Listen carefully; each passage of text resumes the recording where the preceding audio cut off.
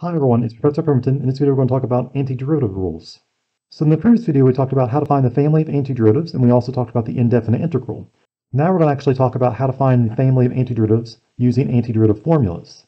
So let's pick up where we left off. Antiderivative rules. Since antidifferentiation should be thought of as the inverse operation of differentiation, we can think of this as going backwards from the derivative process. And so since we have basic differentiation rules to find the derivative of a function, we also can find basic antiderivative rules to go backwards.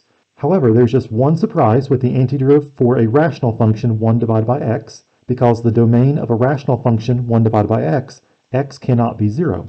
So the antiderivative of 1 divided by x cannot just simply be natural log of x. It actually is natural log of absolute value of x, because we want the x to be a positive number x cannot be a negative number because natural log of a negative number does not exist.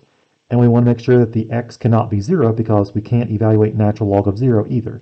The reason why we need absolute value around the x is because the x can be any real number except for 0 for the rational function 1 divided by x. But when we find the antiderivative, which would be natural log of x, x can't be everything for the natural log function to exist.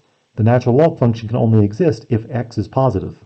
So to be able to see why this is true, Recall that if x is less than 0, then the absolute value of x is just the opposite of x. So if x is negative 3, the absolute value of negative 3 is the opposite of negative 3, or positive 3.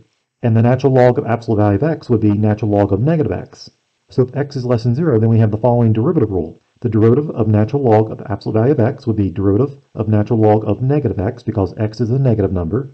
The derivative rule said you take 1 divided by the argument, so 1 divided by negative x, times the derivative of the inside function. The inside function is negative x, and the derivative of negative x is negative 1. So 1 divided by negative x times negative 1, and that gives you 1 divided by x as the derivative of natural log of absolute value of x. On the other hand, if x is positive, then the absolute value of x is just the same number x. So the absolute value of 7 is 7. So the natural log of absolute value of x just becomes natural log of x. And so if x is greater than 0, the derivative rule would be derivative of natural log of absolute value of x is the derivative of natural log of x, and we know that's 1 divided by x. So, in conclusion, the antiderivative of f of x equals 1 divided by x. This antiderivative for the rational function is natural log absolute value of x. Don't forget about the absolute value around the argument of the natural logarithm function when you find the antiderivative. So one of the other things that we talked about in the previous video is the indefinite integral sign. So in the next definition, we're going to see the special symbol for the indefinite integral sign over and over that's talking about the family of antiderivatives of a function.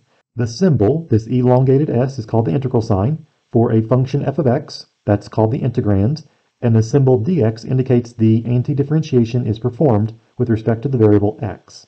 The arbitrary constant, capital C, is called the constant of integration. So let's talk about the antiderivative rules.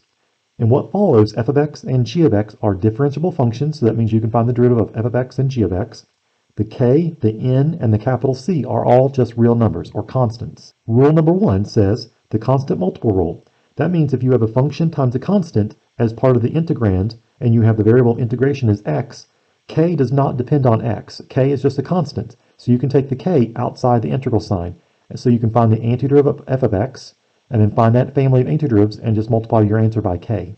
Number two, the sum and difference rule. If you have the integral, the indefinite integral of a sum or a difference of two or more functions, or two or more terms in this case, then you can find the antiderivative of each function separately. So find the family of antiderivatives of f of x, and then find the family of antiderivatives of g of x, and you can add or subtract those two different answers. Keep the sign between the functions in terms of also their antiderivatives. So number three, the power rule for antidifferentiation. If you have the integral of x to the n dx, well, if derivatives were taken, we would subtract one from the exponent. We talked about in the previous video that if you want to find the antiderivative of a power function, you need to add one to the exponent. So x to the n plus 1 in the numerator, and then you divide by n plus 1. And then don't forget about your constant of integration. If you want to talk about the family of antiderivatives, you need to add plus c as any constant. And so keep in mind that this formula only makes sense if n is not negative 1, because if n was negative 1, the denominator is 0, and that makes the entire family of antiderivatives undefined. So you can't use the formula if n is negative 1. Number 4 exponential functions. If you have the indefinite integral of an exponential function like a to the x power, the integrand is an exponential function where the base is a and the variable is in the exponent. The antiderivative rule says you keep the exponential function exactly as the same, but instead of multiplying by natural log of the base like we would with derivatives, you have to divide by natural log of the base. So divide by natural log of a, and again plus c because you have a constant of integration for the family of antiderivatives. And then number five, the rule that we just talked about, the natural logarithm, you have the antiderivative of x to the negative 1 dx. So this is the case where n is negative 1 for power functions. So if your exponent is negative 1, it's a special case. It's really the integral of 1 divided by x when you move x to negative 1 down to the denominator of the fraction. And so the antiderivative of 1 over x we talked about is natural log of the absolute value of x. And again, plus c for the family of antiderivatives. Keep in mind that each of these antiderivative rules listed before can be verified using derivatives. If you take the derivative of the right side of these formulas, if you take the derivative of the antiderivative, you should get the integrand back. So we're going to show this using the power rule. So if you differentiate the right-hand side of the power rule in the last formula, then you have the integral of x to the n dx was x to the n plus 1 divided by n plus 1 plus c, where c is the constant of integration. The derivative of the right-hand side of this formula would be d dx of x to the n plus 1 divided by n plus 1 plus c, the constant of integration. We know that we can take the derivative of each term separately, so d dx of the first term, x to the n plus 1 divided by n plus 1, plus the derivative with respect to x of c, the constant of integration. And so this first function knows that you have 1 divided by n plus 1. That's just a coefficient, so you keep it. And then you have x to the n plus 1 that you want to take the derivative of. The derivative of c, that's just a constant. So the derivative of a constant we know is 0. And so now x to the n plus 1, that's a power function. If you want to find the derivative, you need to use the power rule for derivatives. And so we know that if you want to take the derivative of x to the n plus 1, you bring the power to the front and make it a coefficient. So you have 1 divided by n plus 1, that was already a coefficient, times n plus 1 when you take the power down and then you subtract 1 from the power. So now it's x to the n power. So 1 divided by n plus 1 times n plus 1, that just cancels out and just gives you 1. So 1 times x to the n is just x to the n. And so you get the integrand on the left-hand side of this formula. And so that verifies that the antiderivative rule is correct.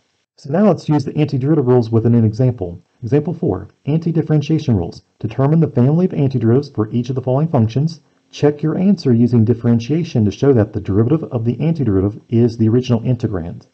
So number one, the function f of x is equal to 3x to the seventh, subtract 15 times square root of x, plus 14 divided by x squared. We want to find the family of antiderivatives for this function. And so we know the family of antiderivatives can be represented using an indefinite integral sign. So the indefinite integral of this function f of x, 3x to the seventh minus 15 square root of x plus 14 divided by x squared, dx tells us that x is the variable of integration. And so let's rewrite each of the terms so we have a power of x. So the first term is okay, 3x to the 7th, minus 15 square root of x, that's really minus 15x to the 1 half power when you change it to a fraction power. And then the last term is really 14x to the negative 2 when you move x squared to the numerator. And then again, keep the dx because that's telling you the variable integration is x. So now let's use the sum and difference rules to find out the antiderivative of each term separately. So you have the indefinite integral of 3x to the 7th dx minus the indefinite integral of 15x to the half dx, and then plus indefinite integral of 14x to negative 2 dx. So each integral sign also gets a dx. It tells you what the variable integration is for each of the integrals. So now let's use the anti-differentiation rules. The first function, the 3 is the coefficient, so you can take the coefficient 3 and bring it outside the integral sign, and so you just keep the 3. But now x to the 7th, that's a power function, so you need to add 1 to the exponent and also divide by the exponent. So you have 3 times, you would add 1 to the exponent, that makes it x to the 8th, but then you also have to multiply by 1 divided by whatever the exponent becomes. So multiply by 1 eighth. So you have 3 times 1 eighth times x to the 8th. Now the next integral, you have 15 times x to the half. So again, keep 15 as a coefficient, and now you need to add 1 to the exponent because x to the 1 half is a power function. So if you add 1 to the exponent, that becomes 1 half plus 1, or 3 halves. And then you also have to divide by 3 halves. But if we know that if we divide by 3 halves, it's really multiplied by the reciprocal. So it's 15 times the reciprocal of 3 halves, or 2 thirds, times x to the 3 halves after you add 1 to the exponent. And now the integral of the last term. You have 14 as a coefficient, so again, keep the 14. You want to add 1 to the exponent because x to the negative 2 is also a power function. So add 1 to the exponent becomes negative 2 plus 1, or negative 1. And then you divide by negative 1. And again, since this was an indefinite integral, we really have a constant of integration for each of these three integral signs. So if you have a constant of integration plus another constant of integration plus another constant of integration, you just have one constant. So let's just use capital C to represent the constant of integration for all three integrals added together. So to just to simplify, you have 3 times 1 8, that's 3 eighths, x to the 8th power, minus 15 times 2 thirds, that's 30 divided by 3, x to the 3 halves power, minus 14x to negative 1, plus c for the constant of integration for the family of antiderivatives. And then notice you can simplify 30 divided by 3 to make it 10. So the family of antiderivatives would be capital F of x, 3 eighths x to the eighth power, subtract 10 x to the 3 halves power, subtract 14 x to negative 1, and then plus c for the constant of integration. If you take the derivative of this answer, you should get the original function back. So I'll let you check that the derivative of the antiderivative is the original function. Number 2. This time, lowercase g of x is e to the x plus 12, subtract 16 divided by x, subtract 4 raised to the x power. So this time we have many different types of functions. We have an exponential function, we have just a constant function, we have a rational function, and then again we also have an exponential function at the end. But let's find the family of antiderivatives for this function g of x.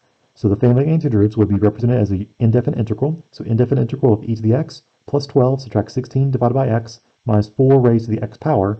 dx tells us that the variable integration is x. So the sum and difference rule says we can take the antiderivative of each term separately. So the indefinite integral of the first term, so indefinite integral of e to the x dx, plus, so keep the sign between the two different terms, so indefinite integral of 12 dx, subtract indefinite integral 16 divided by x dx, subtract indefinite integral of 4 to the x power dx. So the antiderivative of e to the x, so it's an exponential function with base e. What was the function before we took the derivative to get e to the x? Well, the derivative of e to the x is e to the x, so the antiderivative of e to the x is also e to the x. The antiderivative of 12 is 12 times x, because the derivative of 12x is just 12. Subtract. 16 is the coefficient, so you keep it. And then what's the antiderivative of 1 divided by x? Well, we know that's natural log of the absolute value of x. So subtract 16 times natural log of absolute value of x. Subtract, and now this last term is an exponential function. And so that means that we need to use the exponential function rule to find its antiderivative. The base is 4, so the antiderivative would be 4 to the x divided by natural log of 4. And don't forget about the plus c at the end as the constant of integration. You want to talk about the family of antiderivatives, you need to have a plus c. And so now to simplify, the first term is e to the x for the antiderivative, plus 12 times x, subtract 16 times natural log of x, and then you can make this last term as one fraction. You have 4 to the x in the numerator, and natural log of 4 in the denominator, and again, don't forget about the plus c.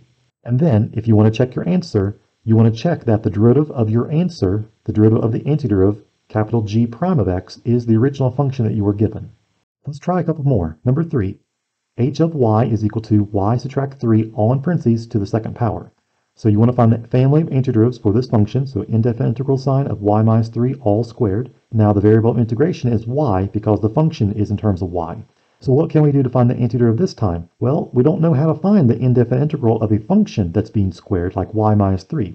So let's simplify the function first. So you have y minus 3 squared, that's y minus 3 times y minus 3, and so now you can use FOIL to actually expand what this polynomial is.